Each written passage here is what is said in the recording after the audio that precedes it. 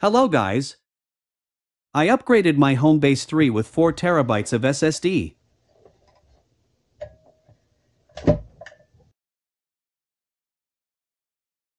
After disconnecting the Homebase 3 and removing the plastic cover, I unscrewed and removed the SSD holder.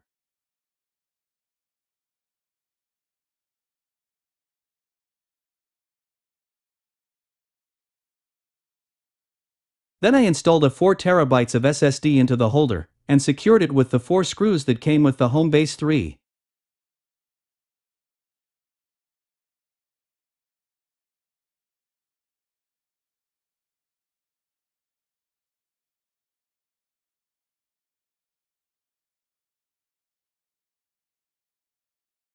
After I installed the holder with the SSD back in the Homebase 3, I secured it with the screw and reattached the cover.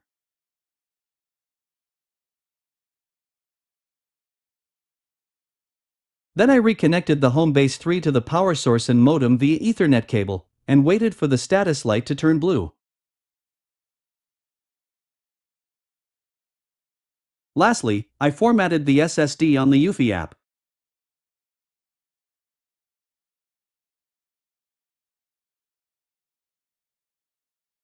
As you can see, the available storage now shows 4188.2 gigabytes,